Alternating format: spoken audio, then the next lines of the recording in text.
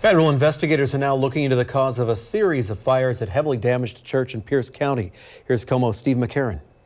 So these are uh, three signs. First one is O. Lead pastor Brian Benke could have never imagined how symbolic these three boards Give. from a church service the night before Thanksgiving would be. Thanks. Handwritten messages from members of his congregation, which now finds itself thankful that no one was hurt when three suspicious fires heavily damaged the church's lobby and worship center. Fire burns brings the pain of fear and loss found in the flame. We wonder why, who is to blame?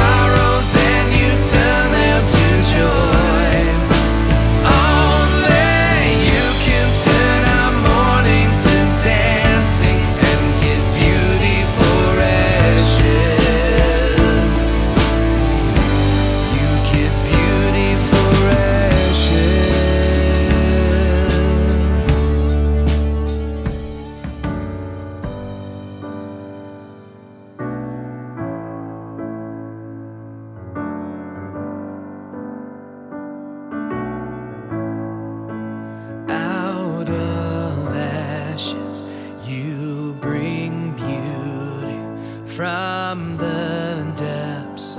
With you we rise. Out of ashes, you bring beauty. You adorn us with the crown of light. Love this crew. And uh, it's been a good workout. I will miss this.